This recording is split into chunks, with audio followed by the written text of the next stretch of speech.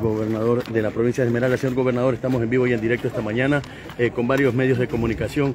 Bueno, lo que era de pronto imposible se cumplió, señor gobernador. Se está cumpliendo pues con el dragado del puerto pesquero y no solo con eso, sino también pues el ingreso a los barcos de otros países acá.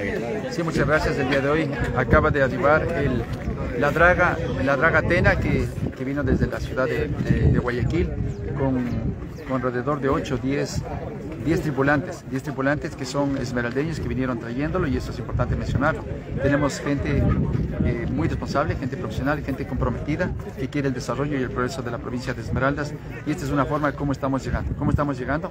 A que Esmeraldas crezca, a que Esmeraldas se desarrolle y a que Esmeraldas avance hacia el futuro.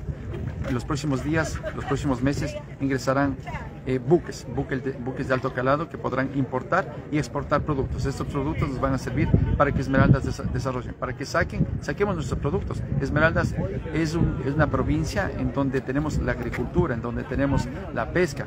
Tenemos que sacar nuestros productos de acá. Ya no tenemos que viajar hasta Guayaquil, ya no tenemos que viajar hasta Manta. Aquí, a pocos kilómetros, tenemos nuestro propio puerto. Es la manera que tuvo que haber habido siempre. No tuvimos que haberle dejado morir al puerto de, Esmeraldas, sino más bien levantarlo. Este es buen comienzo un buen inicio. Eh, eh, se invirtió, el Estado invirtió 6 millones de dólares en este proyecto. Esperamos que en los próximos 3 o 4 meses nosotros ya estemos acá con las embarcaciones correspondientes.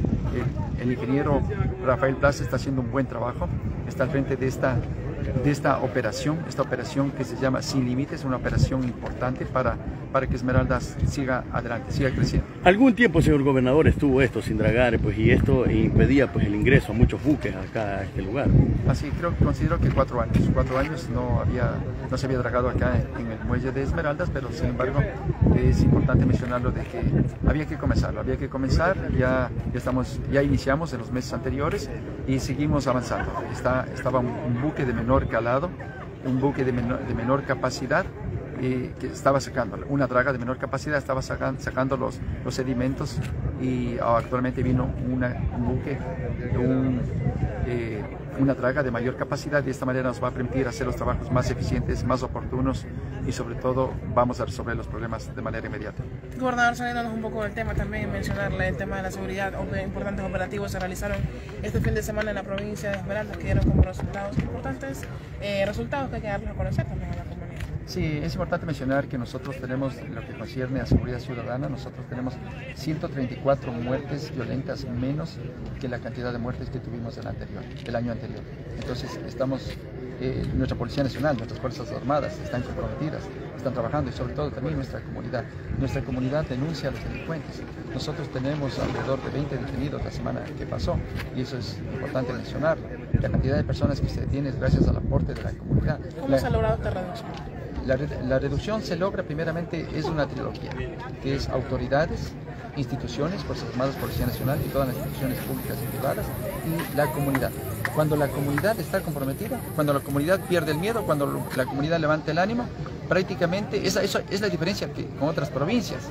La diferencia que hace Esmeraldas con otra provincia, en, en, sumando todas las provincias, el promedio es, hay una reducción del 18% menos en violencia criminal, sumando todas las provincias. Inclusive hay provincias en las que no hay delitos, como Galápagos. Eh, pero Esmeraldas tiene el 52%. Es la gran diferencia. La diferencia, considero que independientemente de nuestras instituciones, que con mucho respeto, nuestras Fuerzas nuestra Policía Nacional, que hacen un trabajo muy profesional, el ánimo de nuestra población, el espíritu que tiene nuestra población, el, el, hecho de haber perdido el miedo al delincuente, el hecho de denunciar, prácticamente hace que nosotros como Estado resolvamos los problemas de manera más simplificada, de manera más fácil, considerando que el 80-90% de los detenidos en todo momento, desde hace seis meses, prácticamente es gracias al aporte y a la ayuda de una comunidad que está comprometida. Hoy estamos de acuerdo también un feriado, gran afluencia de turistas, cómo se prepara la gobernación con las diferentes autoridades para sí, eh, nosotros, nosotros estuvimos recorriendo este fin de semana las diferentes, primeramente instituciones, el, día sábado, el día domingo estuvimos recorriendo la, las diferentes, los diferentes cantones con la finalidad de ver cómo está la cantidad de afluencia de turismo. Tenemos gran cantidad de turismo acá en Esmeraldas, sobre todo en, en, las, en las playas. Es así que eh, el año anterior nosotros teníamos una capacidad hotelera ocupada del 3 al 2% aproximadamente. Actualmente tenemos capacidades que rebasan el 80% y eso es importante para levantar el ánimo, eh, que se desarrolle Esmeraldas, que sigamos teniendo economía y de esta manera todos nos beneficiamos. Gracias, señor gobernador. Gracias a la entrevista esta mañana con el señor gobernador de la provincia de Esmeralda.